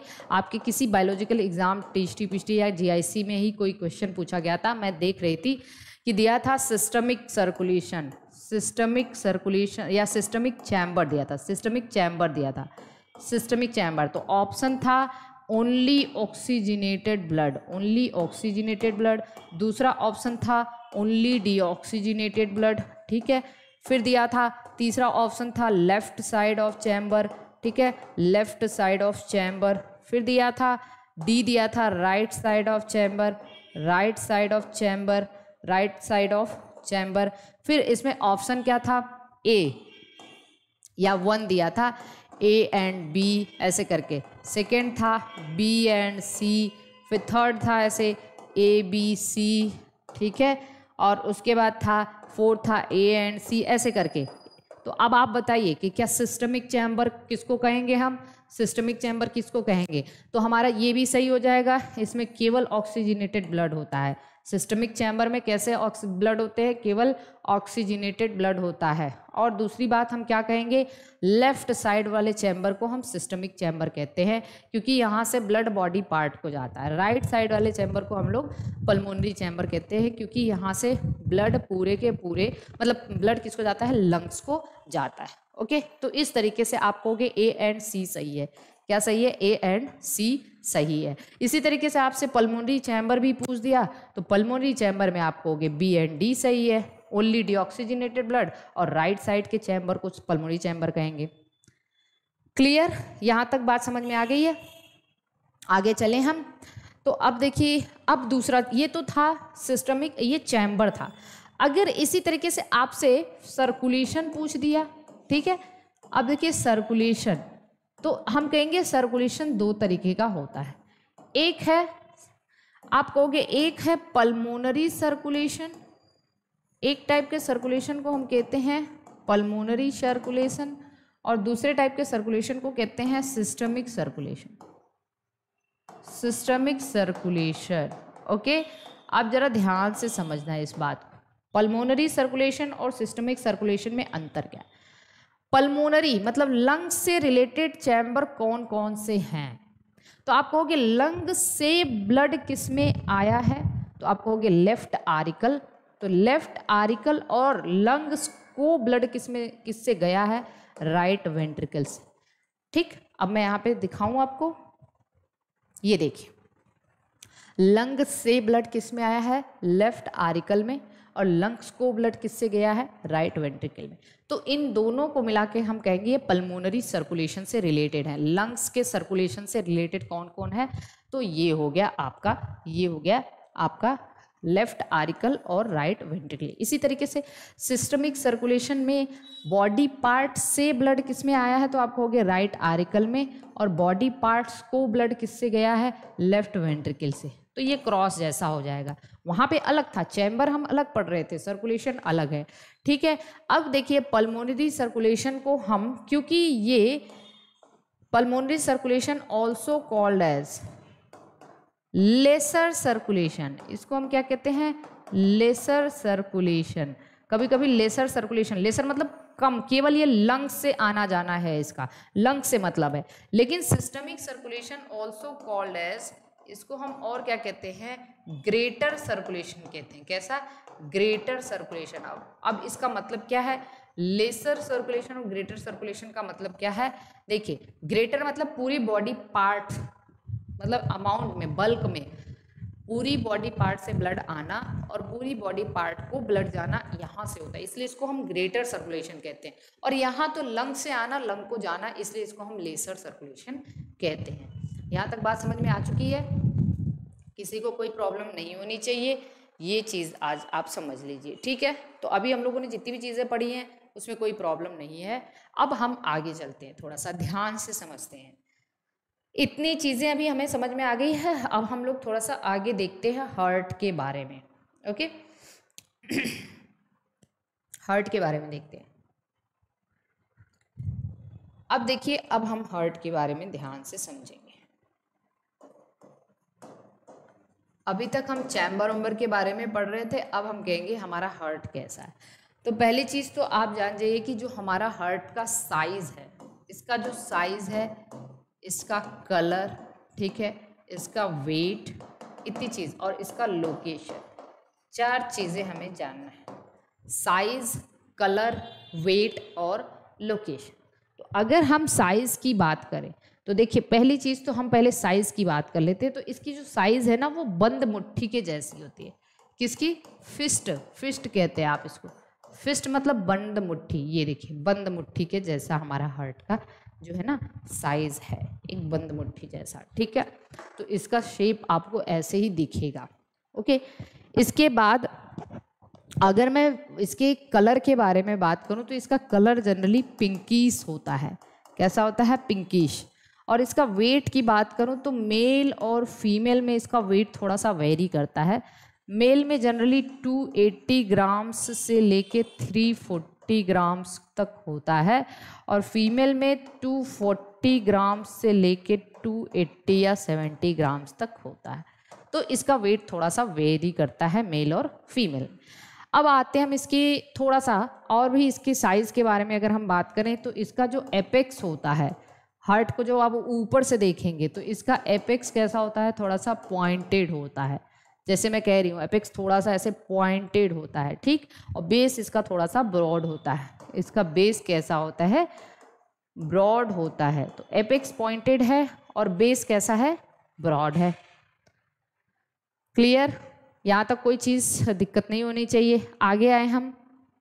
अब हम आते हैं इसके लोकेशन के बारे में बात करते हैं। तो देखिए हार्ट की जो लोकेशन होती है, वो होती है लोकेटेड इन लिख लीजिएगा लोकेटेड इन मेडिस्टाइनम या फिर chest cavity chest cavity mediastinal cavity या चेस्ट कैविटी अब आप कहोगे कि इसका मतलब क्या है? तो देखिए, जैसे ये हर्ट और एक और चीज़ लिख लीजिएगा two third part two third part जो इसका होता है टूवर्ड्स लेफ़्ट साइड बॉडी के लेफ़्ट साइड में होता है इसका लगभग two third part located in mediastinum or chest cavity in cardiac notch in cardiac notch लिख लीजिएगा कार्डियक नॉच अभी मैं मतलब ही बताऊँगी। और कार्डियक नॉच क्या होता है? This is the depression depression in left lung left lung का डिप्रेशन को कार्डियक नॉच कहते हैं। अब देखिए, अब इसको अब बस इतना लिखने के बाद आप समझिएगा। जैसे देखिए क्या होता है? ये है हमारा, ये है हमारा ट्रैकिया ठीक है?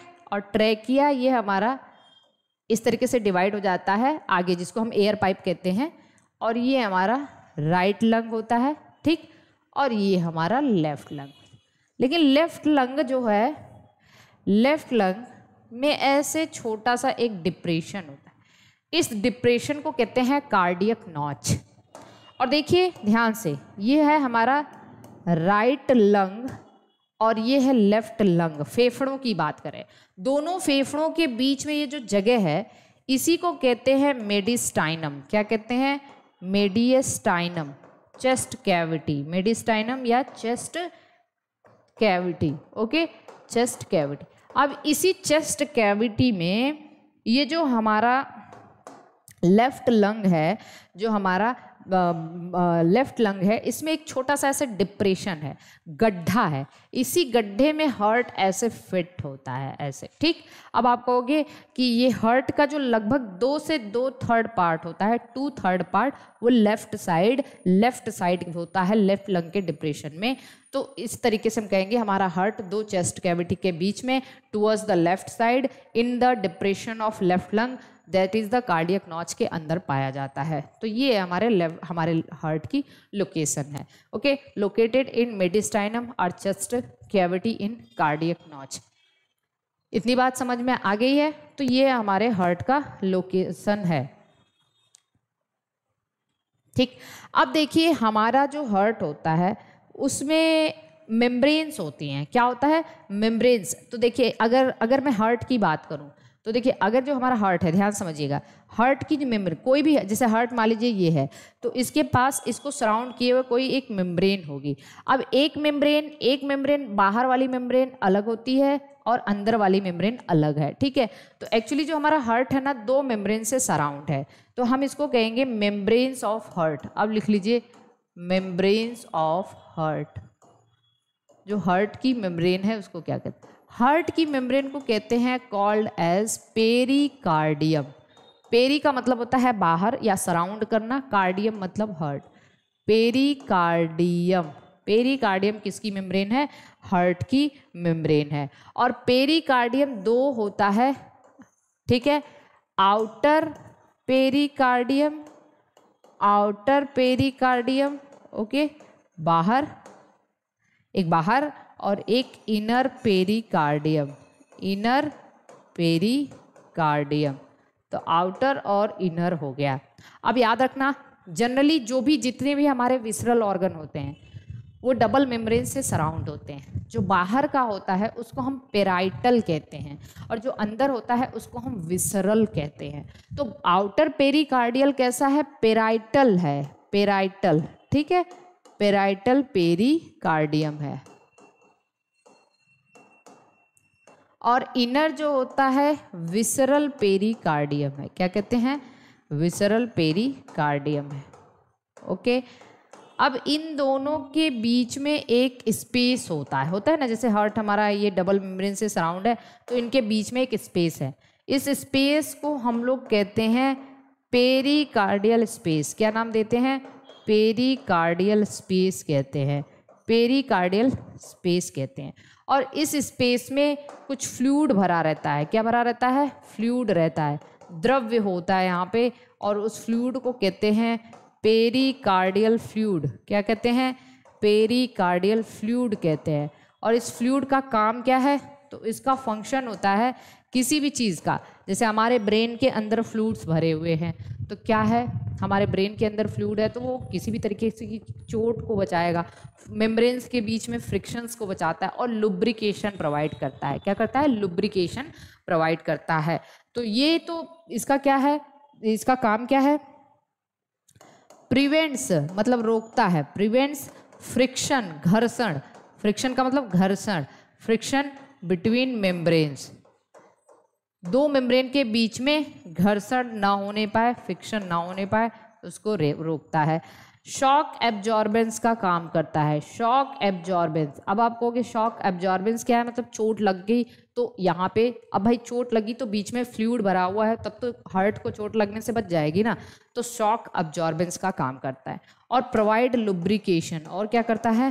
प्रोवाइड्स लुब्रिकेशन उसको मुलायम रखता है लुब्रिकेट करता रहता है। ठीक? इतनी चीज़ आपको समझ में आनी चाहिए। तो इस तरीके से देखिए, हमारे जो हर्ट की मेम्ब्रेन है, इसको पेरिकार्डियम कहते हैं। आउटर पेरिकार्डियम ठीक है? और आउटर पेरिकार्डियम इनर पेरिकार्डियम क्या है? पेराइटल इनर क्या है? विसरल स्पेस को कहेंगे पेरिकार्डियल स्पेस और फिर जो है ना पेरिकार्डियल स्पेस के बीच में फ्लूड होता है, इसको पेरिकार्डियल फ्लूड कहेंगे और इसका काम हमने आपको बता दिया है, ठीक? अब देखिए, जैसे अभी ये तो मेम्ब्रेन थी, ये थी हार्ट जैसे सपोज़ करिए कि ये हमारा दिल है, ठीक? ऐसे हमने बना दिया दिल, ठीक है? अब ये जो हमारा हार्ट है हार्ट में ऐसे हमारे पास क्या है? दो मेम्ब्रेन बनाया था हमने, एक बाहर की मेम्ब्रेन है और एक अंदर की मेम्ब्रेन है। लेकिन आगे चल के ये अंदर वाली जो मेम्ब्रेन है, वो वाल में डिवाइड हो जाती है। किसमें? वाल में। वाल मतलब दीवार। मेम्ब्रेन तो उसका बैग लाइक स्ट्रक्चर है जिसमें हार्ट भरा हुआ है।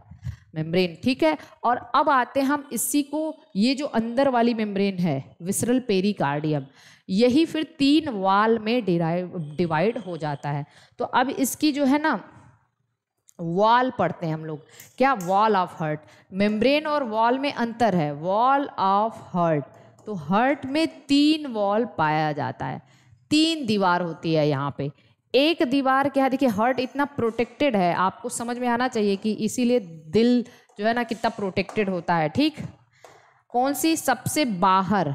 आउटर वॉल ओके फिर मिडिल वॉल ओके वॉल और फिर इनर वॉल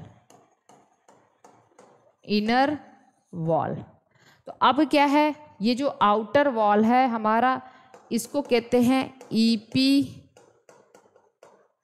कार्डियम क्या कहते हैं? ईपी कार्डियम जो मिडिल वॉल है, इसको कहते हैं मायोकार्डियम और जो इनर वॉल है, इसको कहते हैं एंडोकार्डियम एंडोकार्डियम।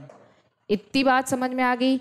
ईपीकार्डियम, मायोकार्डियम और एंडोकार्डियम। अब देखिए, इसमें क्या है? सबसे बड़ी चीज़, ये क्या करता है? प्रोटेक्शन प्रोवाइड करता है। सबसे बाहर वाला तो प्रोटेक्शन तो प्रोवाइड ही करेगा। और किसका बना हुआ है? तो ये बना हुआ होता है ईपीथिलियल टिश्यू का। किसका? ईपीथिलियल टिश्यूज़ का बना होता है। ईपीथिलियल टिश्यूज़ इसमें पाए जाते हैं, ये चीज़ याद रखना, ओके? अब यहाँ पे देखिए ध्यान दीजिएगा, इनर वॉल जो है, इंडोकार्डियम, इसमें एंडोथीलियम पाया जाता है। हम टिश्यू पढ़ाएँगे तो बताएँगे एंडोथिलियम क्या है, मीजोथीलियम क्या है, ठीक है? और कनेक्टिव टिश्यू, जनरली यहाँ पे कनेक्टिव टिश्यूज पाए जाते हैं। इतनी बात याद रखना, संयोजी उतक जिसको कहते हो आप। क्या कहते हो? संयोजी उतक कहते हो। लेकिन इंपॉर्टेंट है मिडिल वॉल कौन सी वॉल है?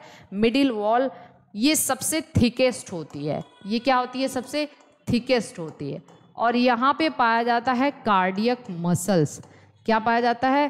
कार्डियक मसल्स क्योंकि देखिए मसल्स मतलब जो मांसपेशियाँ हैं हर्ट की मांस मसल की स्टडी को मायोलॉजी कहते हैं, इसीलिए इसका मायो नाम नाम पड़ा है। मसल्स की स्टडी को क्या कहते हैं? मायोलॉजी या सार्कोलॉजी। इसीलिए मायो टर्म यहाँ पे पड़ा हुआ है, ठीक है? तो जो कार्डियक मसल है, इसको हम और क्या कहते हैं? Heart muscle. क्या कहते हैं? Heart muscle. अब बात को समझिएगा आप कि जो हमारा कार्डियक मसल होता है, ये इसके बारे में सबसे खास बात यह है कि आपको पता होगा कि हमारे पास तीन तरीके की मसल्स होती हैं। पहले हम मसल के बारे में थोड़ा सा समझें, कितनी तरीके की मसल होती हैं, तीन तरीके की मसल आप कहते हो एक ऐच्छिक ऐच्छिक, ठीक है? हिंदी में ना लिख पाऊँगी मैं। ऐच्छिक का मतलब जिसको आप कहते हो स्ट्रिएटेड मसल आगे मैं पढ़ाऊँगी मसल हो सकता है आज मेरा एक वीडियो मसल का जीआईसी बूस्टर सीरीज़ में आए ठीक है? जीआईसी बूस्टर सीरीज़ में या सॉरी इसमें आश्रम पद्धति वाले सीरीज़ चल रहा है, उसमें मसल का एक वीडियो आएगा। तो स्ट्रिएटेड मसल और दूसरा स्मूथ मसल ठीक है, जो स्मूथ मसल और तीसरा क्या होता है? तीसरा होता है कार्डियक मसल तीन तरीके की मसल हमारी बॉडी में पाई जाती है, ठीक है? स्ट्रिएटेड या इसको स्केलेटल मसल कहते हैं स्केलेटल जैसे ये जनरली जैसे ये हमारी हड्डी है ठीक है, हमारी हड्डियों से जुड़ी होती है मसल डायरेक्टली जुड़ी होती है तो इसको स्केलेटल मसल इसीलिए कहते हैं। और ये ऐच्छिक होती है। ऐच्छिक मतलब इसको हम अपनी इच्छा के अनुसार जो है कंट्रोल कर सकते हैं। इसको हम ऐच्छिक मसल या वॉलंटरी मसल कहते हैं। लेकिन जो स्मूथ मसल होती है, वो हमारे विसरल ऑर्गन में पाई जाती है, जैसे डाइजेस्टिव सिस्टम रेस्पिरेटरी सिस्टम ये इनवॉल्यूंटरी होती है, अनैच्छिक होती है। इसको हम अपनी इच्छा के अनुसार, हम, हमारे under under our will power ये वर्क नहीं करती। ये ऑटोनॉमस नर्वस सिस्टम के अंडर वर्क करती है, ठीक है? और जो कार्डियक मसल है, ये हार्ट में पाई जाती है। अब जो समझने वाली बात है, वो ये है कि जो हार्ट की मसल होती है, वो उसकी सबसे खास बात तो ये होती है कि स्ट्रक्चरली स्ट्रक्चरली ध्यान दीजिएगा। स्ट्रक्चरली मतलब स्ट्रक्चर के बेसिस पे ये स्ट्रिएटेड मसल जैसी होती है। किसके जैसी? स्ट्रिएटेड मसल के जैसी होती है। या फिर स्केलेटल मसल जैसी होती किसकी? स्केलेटल स्ट्रिएटेड का ही दूसरा नाम है स्केलेटल मसल तो स्ट्रक्चरली तो ये स्ट्रिएटेड मसल स्ट्रक्चर इसके जैसा होता है। लेकिन अगर मैं बात करूँ इसकी फंक्शनली ये फंक्शनली कैसा होता है? तो आप याद रखना फंक्शनली ये इसके जैसा होता है स्मूथ मसल मतलब अनैच्छिक अनैच्छिक इनवॉल्टरी इसको हम अपनी इच्छा अनुसार रोक नहीं सकते। क्यों? जैसे हम किसी से नाराज़ हो गए तो क्या हम अपनी हार्ट बीट अपने से रोक लेंगे ऐसे करके? हार्ट बीट ही रोक दिया? नहीं। नहीं, ऐसा नहीं कर सकते। तो हम फंक्शनली ये कैसी होती है? फंक्शनली स्मूद मसल जैसी होती है। कैसी? स्मूद मसल और स्मूद मसल को और क्या कहते हैं? इन मसल क्या नाम देते हैं? इनवॉल्यूंटरी मसल कहते हैं। हम मसल पढ़ाएँगे तो बताएँगे। अब देखिए अगर आप इसका स्ट्रक्चर बना दो हर्ट मसल का तो ये जनरली ऐसी होती है। सिलिंड्रिकल ठीक? और ये ब्रांच्ड मसल होती है। सिलिंड्रिकल और ब्रांच और ब्रांचिंग ऐसे होती है। This is the only muscle जहाँ पे ब्रांच्ड होता है ब्रांच और जहाँ से ब्रांचिंग हुई है, इस यहाँ पे एक डिस्क लाइक स्ट्रक्चर पाया जाता है। और इस स्ट्रक्चर को हम कहते हैं इंटरकैलेटिंग डिस्क क्या कहते हैं? इंटरकैलेटिंग डिस्क कहते हैं। तो ये है हमारा इंटरकैलेटिंग डिस्क लिख लीजिएगा। Intercalating disc.